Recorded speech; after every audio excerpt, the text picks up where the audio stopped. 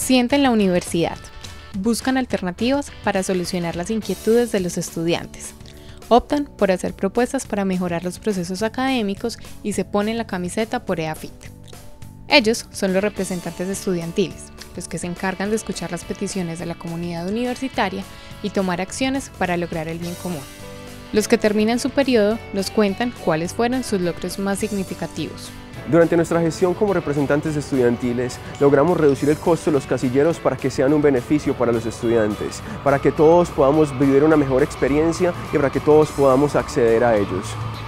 Dentro de nuestra gestión rescatamos que se logró el quórum durante el semestre pasado en las asambleas de carrera de la carrera de Administración de Negocios, el cual consiste en tener el mínimo, un mínimo de, del 5% de la carrera, que en este caso era 121 personas, para la asistencia de la, de la, a la misma asamblea. El semestre pasado hicimos un seguimiento especial a los casos de fraude que se presentaron con el tema del, examen de inglés TOEIC.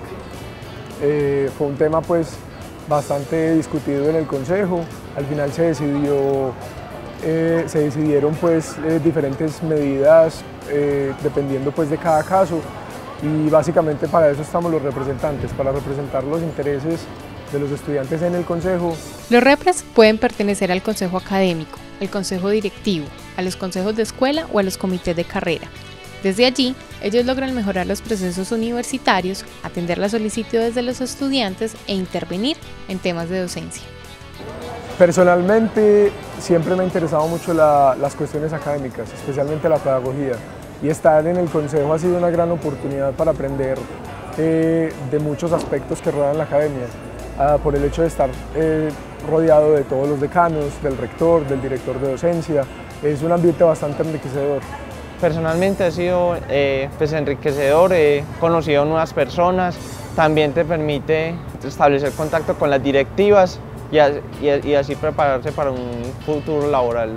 Las inscripciones para hacer refres están abiertas. Pueden hacerse hasta el 15 de marzo en el Departamento de Beneficios y Compensación y las votaciones se realizarán entre el 31 de marzo y el 5 de abril. Si les interesa eh, el mejoramiento continuo de, de los aspectos académicos de la universidad, los invito a que se postulen a representantes estudiantiles.